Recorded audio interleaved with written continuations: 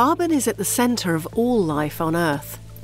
It is part of the global carbon cycle, a term given to the processes where carbon exchanges between and resides within different reservoirs on Earth. This case study is about the provenance analysis of organic carbon, so looking at where carbon is coming from and where it's going in our Earth system.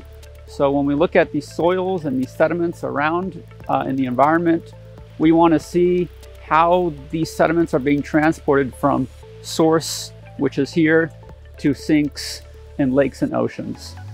Those reservoirs include the atmosphere, oceans, rocks, vegetation, and soils. Let's have a closer look at how carbon is transferred from the terrestrial systems, vegetation, soils, and rocks, to the ocean. First, what we call reduced or organic carbon, which is the atmospheric CO2 locked up in the form of organic matter, finds its way into soils through roots and plant litter. Soil is eroded by water and swept down rivers until it reaches the ocean. There, the reduced carbon is deposited for millions of years. Its journey to the ocean is described by the source to sink pathway. Source to sink means that we have organic carbon being fixated here in the source by photosynthesis, and then this carbon is then transported as organic carbon uh, along a source to sink transect, which form these rivers, and this ultimately leads to organic carbon being deposited in lakes in the ocean, locking up carbon for millions of years.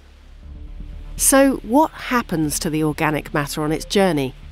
What happens is that parts of the organic matter are continuously oxidized, and CO2 is released back into the atmosphere. Only a small fraction of the organic matter produced by the biosphere is preserved long term in sediment. And how can radiocarbon help us learn something about these processes? Radiocarbon was also incorporated into the organic material from the atmosphere during photosynthesis. But unlike stable carbon, it decays along its journey where it is stored in different reservoirs and transported to its ultimate resting place in the sedimentary record.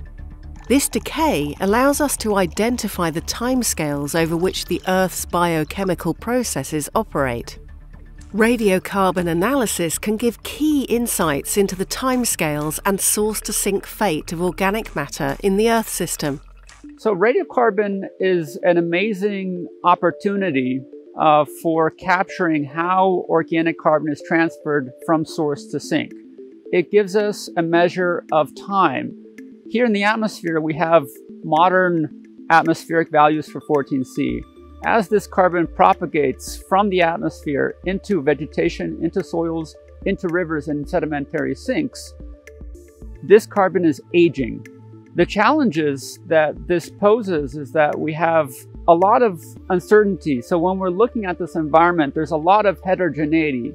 How do we sample this environment to capture its its complexity.